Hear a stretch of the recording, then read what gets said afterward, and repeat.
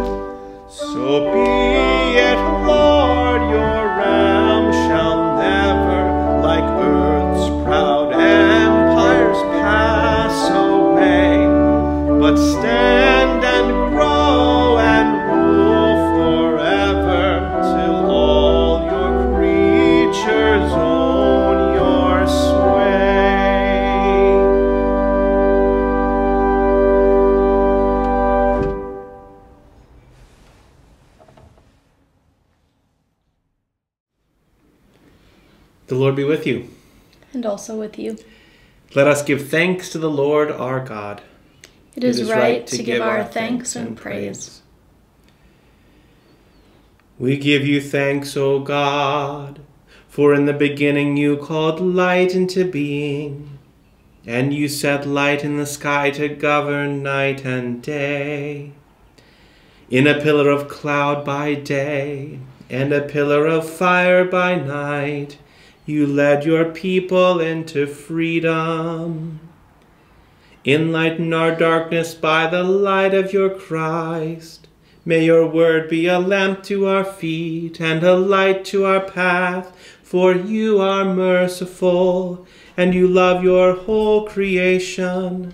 And with all your creatures we give you glory through your Son, Jesus Christ, in the unity of the Holy Spirit, now and forever. Amen.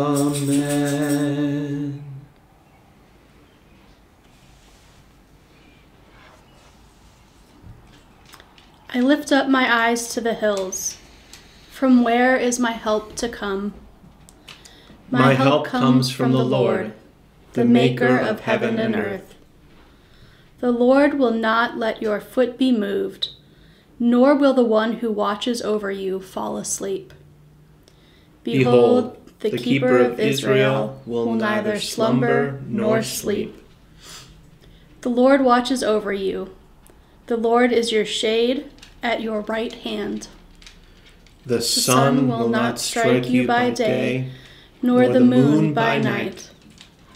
The Lord will preserve you from all evil and will keep your life. The Lord will watch over your going out and your coming in from this time forth forevermore.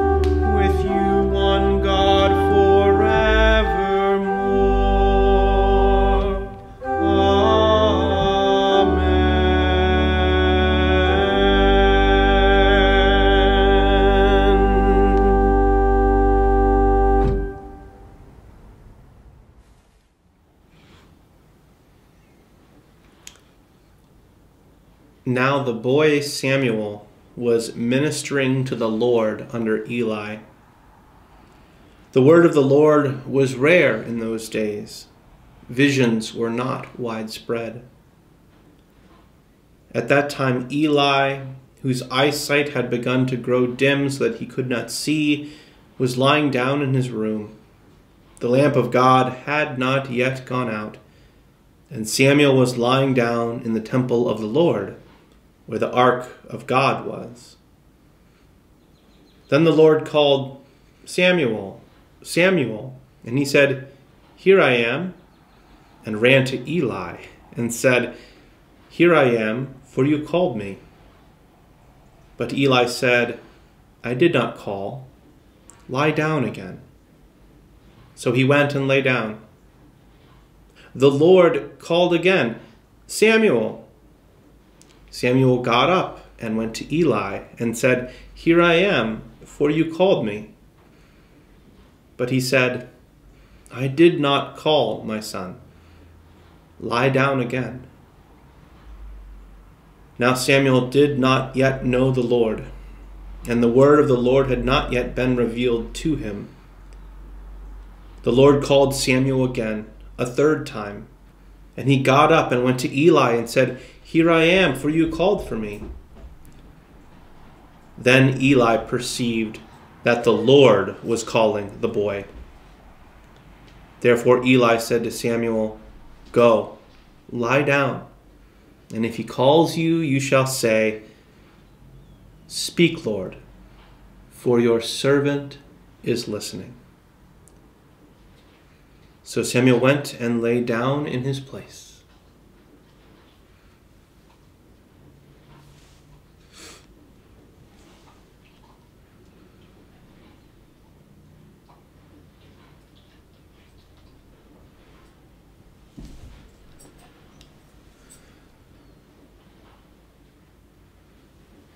Long ago, God spoke to our ancestors in many and various ways by the prophets.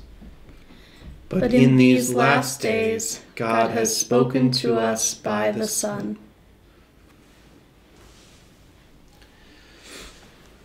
Well, this evening concludes our Lenten Wednesday practice of singing Vespers together in our homes. And that means we have our last spiritual discipline that we're focusing on. This week we hear about prayer, and we hear about it from Nancy Pittard, uh, who so graciously facilitates the Prayer Partners email chain uh, that we share as a congregation. And so now we invite you to listen and ponder as Nancy shares with us. Welcome. Prayer is one of the most meaningful gifts given to us by God. Through prayer, we seek higher counsel in our time of trouble or confusion. We gather insight for a specific situation. Prayer reinforces our faith and helps us to personally connect with God. It is the way we give to God the highest glory and adoration that our human spirit is capable of. My spiritual discipline of praying deepens my connection with God, and it grows through intercessory prayer. Jesus does it on our behalf, and he shows us how to intercede for others. It is also a display of love, which is a great reason to pray for others. It takes trust to confide in a person and allow them to pray on your behalf. It can form a deep relationship with the people, allowing them to share a burden or a problem. Sharing can lighten their load and lift them up. We grow together as believers as we witness God's answered prayers or to comfort and support those in need. God loves when Christians pray together in solemn commitment. He will always listen and be present. The connection with others impacts God in a profound way. He can read the heart of those who pray together and for the same purpose. Intercessory prayer includes people close to us and people across the world in need. It is a powerful image to think of hundreds of people praying for earthquake victims, or our whole church praying for one member. God hears these prayers. He also gives us new perspective to our problems in our own personal prayer requests. I have dedicated prayer time in the mornings and the evenings. But I also value the instant prayers I send up to God after the thought of someone pops into my brain. At all times of the day, I am inspired by other people. And this is the best time to give God the glory and thank Him and ask Him to watch over a person that we are concerned about or are encouraging. Prayer has many benefits for us. It is important to have a relationship with God. It is inspirational, centering, it lowers your blood pressure, and so much more. It is a privilege. Henry Wadsworth Longfellow must have felt inspired by his relationship with God when he wrote this poem. Let us then labor for an inward stillness, that perfect silence where the lips and heart are still, and we no longer entertain our own imperfect thoughts and vain opinions, but God alone speaks in us, and we wait. In singleness of heart, that we may know His will, and in the silence of our spirits, that we may do His will and do that only. Prayer is a place we go to meditate and listen to God. We meditate with Him and we listen to Him. Thank you.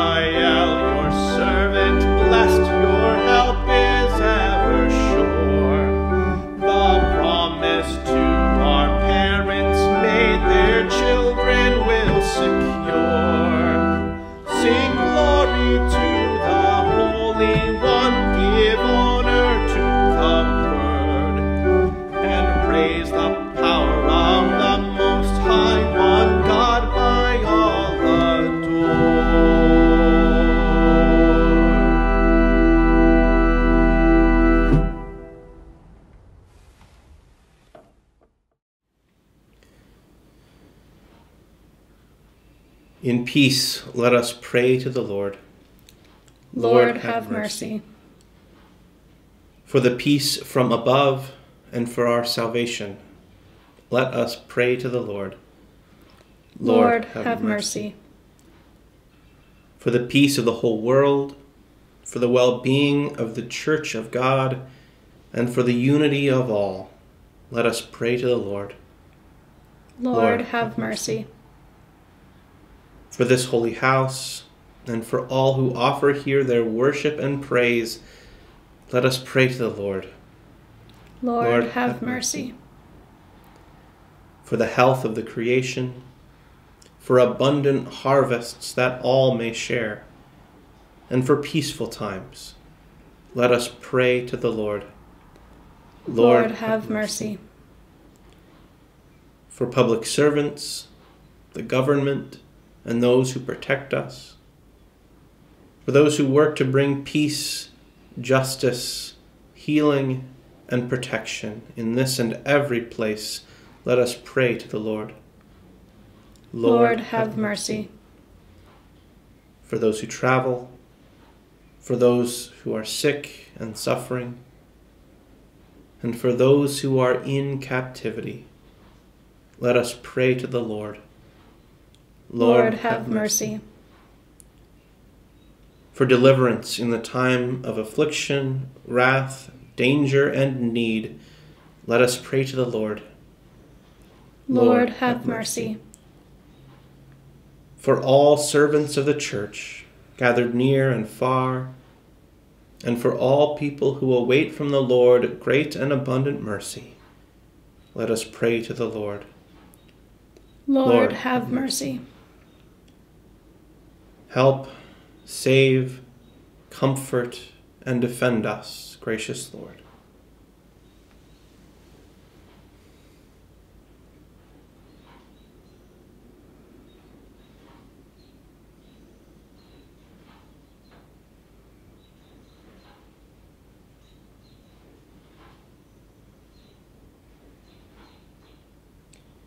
Giving thanks for all who have gone before us and are at rest rejoicing in the communion of all the saints, we commend ourselves, one another, and our whole life to you, through Christ our Lord. To, you, you, O O Lord. Lord. O God, you have called your servants to ventures of which we cannot see the ending, by paths as yet untrodden, through perils unknown. Give us faith to go out with good courage, not knowing where we go, but only that your hand is leading us and your love supporting us. Through Jesus Christ our Lord. Amen. Amen. Lord, remember us in your kingdom and teach us to pray. Our Father in heaven, hallowed be your name. Your kingdom come, your will be done, on earth as in heaven. Give us today our daily bread. Forgive us our sins, as we forgive those who sin against us. Save us from the time of trial, and deliver us from evil. For the kingdom, the power, and the glory are yours, now and forever. Amen. Let us bless the Lord. Thanks be to God. Almighty God, the Father, the Son, and the Holy Spirit bless and preserve us. Amen.